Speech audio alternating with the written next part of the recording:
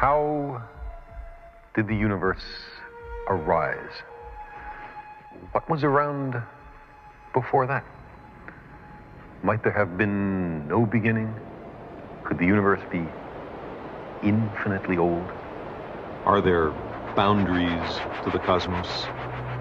The current scientific story of the origin of the universe begins with an explosion which made space itself expand.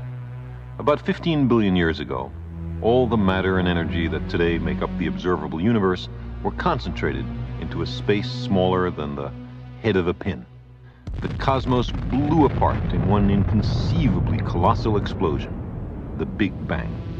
And the stuff of the universe, together with the fabric of space itself, began expanding in all directions as they do today. We have a pretty good understanding of the history of the universe from a hundredth of a second after the Big Bang until today, 15 billion years later. And it's, it's pretty remarkable that I can say this, and it's even more remarkable I can say it and the men in white coats don't come and pull me off the stage. Um, and I think we, that part of the history we have pretty much nailed down because there are fossils and relics that are left behind that tell us that our theory is right.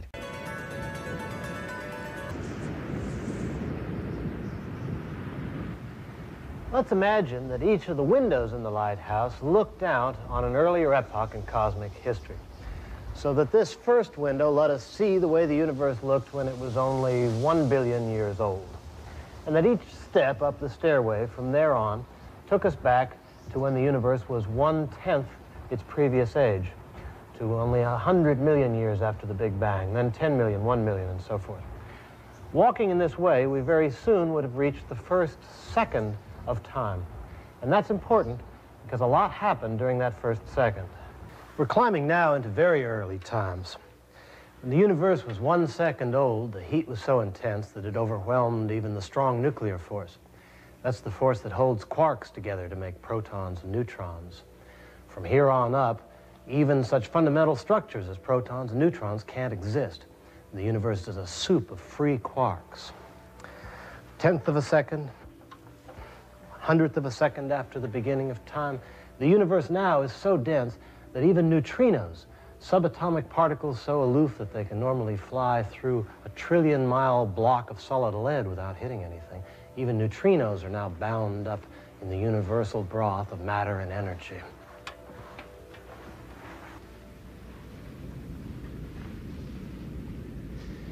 We've reached the first instant of time fraction of a second that has elapsed since the universe began to expand is so small that it has no name. To express it, you'd have to write a decimal point and then a string of 40 some odd zeros. The universe, everything that there is or can be, was contained, we think, at this point within a single spark of energy, rapidly expanding, but still smaller than the nucleus of an atom, and ruled by a single primordial law. If we knew what went on at this epoch, we might finally understand the relationship between the laws of nature and between space and time and matter and energy. But we don't yet know. We lack a theory that can explain how nature would have behaved under these extreme circumstances. A lot of people are looking for such a theory. Some think it'll be a kind of quantum gravity or what's called a superunified theory or a supersymmetry theory. And of course, we don't know what the theory will say. But whoever hits upon that theory will be the first to have glimpsed the very threshold of creation. Probably the most fundamental question that we can ask about the universe is what got it started? Where did it come from? The moment of creation. And that's probably the most difficult thing to try to answer. Because in cosmology, the way we reconstruct the history of the universe is to run the movie backwards. The way we run the movie backwards is by using the laws of physics. Um, the laws of physics that we presently know are probably good enough to take us back to within 10 to the minus 43 seconds of the bang or the moment of creation. Uh, that, that's pretty close. Um, but in order to go all the way back, we've got to get a better theory of gravity. We, we need a quantum theory of gravity. And I suspect that we may always find ourselves in this position. Um, that to go that last tiny fraction of a second, we need some knowledge that we don't have. And so I think it may be a very long time, if ever, uh, before we can answer the question that everyone would like to know. What, what, where did, what caused creation? If the general picture of a Big Bang followed by an expanding universe is correct, what happened before that? Was the universe devoid of all matter and then the matter suddenly somehow created? How did that happen? In many cultures, the customary answer is that a god or gods created the universe out of nothing. But if we wish to pursue this question courageously, we must, of course, ask the next question. Where did God come from? If we decide that this is an unanswerable question, why not save a step and conclude that the origin of the universe is an unanswerable question?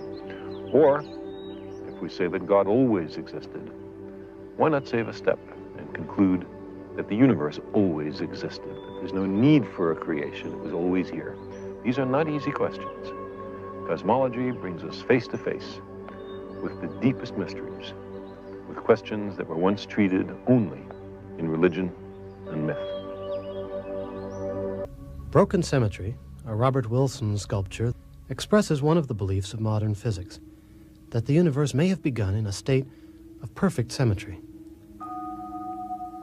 The theories say that matter froze out of energy while the early universe was expanding and cooling, that form arose from formlessness, like ice crystals congealing in a freezing pond.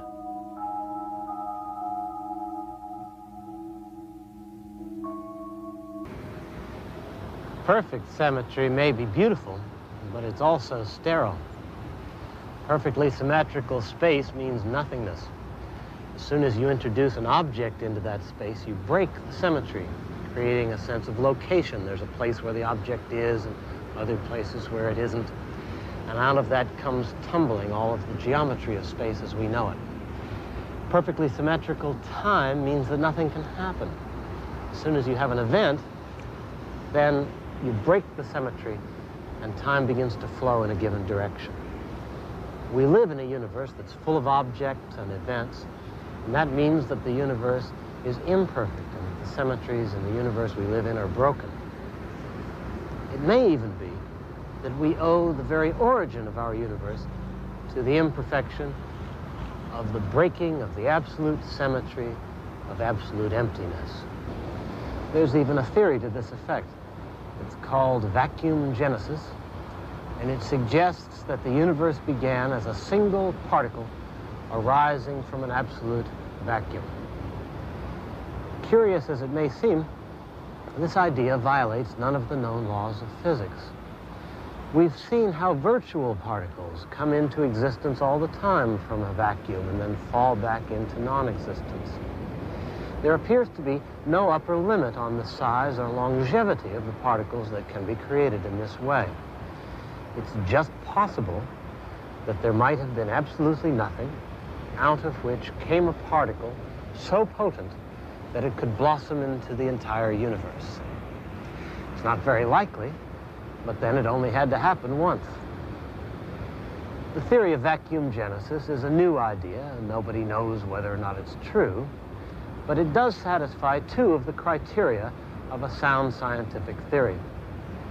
It seems at first so strange that it must be preposterous, and like the universe itself, the longer you get to know it, the more beautiful it becomes. We haven't come to the bottom level yet, but as we approach it, we pick up intimations of an underlying beautiful theory whose beauty we, we can only dimly see at, at the present time. We don't know, we don't know that it's true. We don't know there really is a beautiful underlying theory. We don't know that as a species we're smart enough to learn what it is. But we do know that if we don't assume there is a beautiful underlying theory and assume that we're smart enough, enough to learn what it is, we never will. The expansion of the universe was predicted by Einstein's general theory of relativity, published in 1915 but the idea seemed so outlandish that Einstein himself rejected it. He introduced an extraneous term into the field equations to try to make his theoretical universe stand still. Then, in 1929, the American astronomer Edwin Hubble, without knowing of the relativity prediction, discovered that the universe is indeed expanding.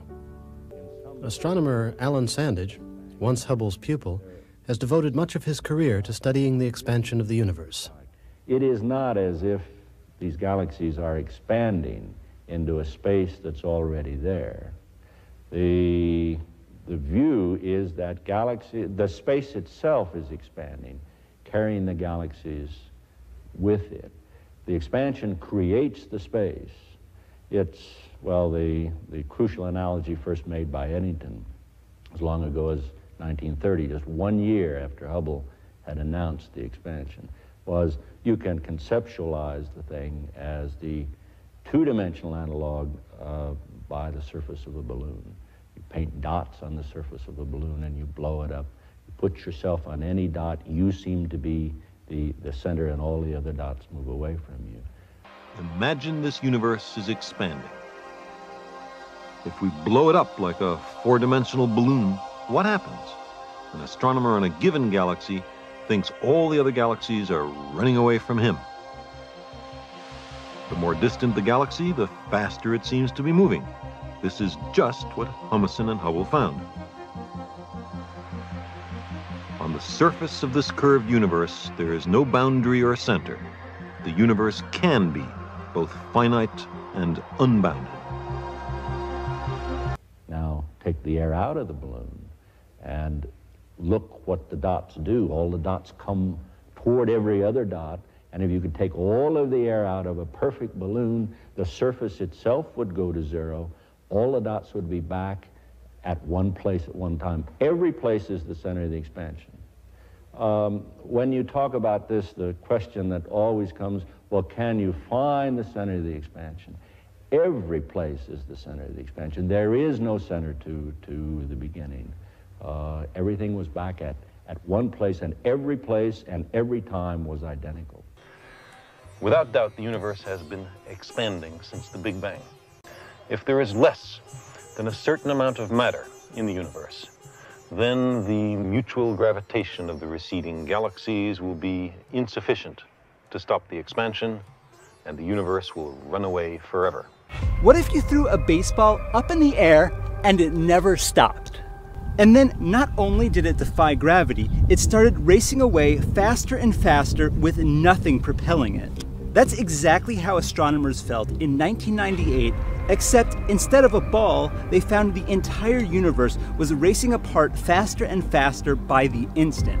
So, why would the universe do that?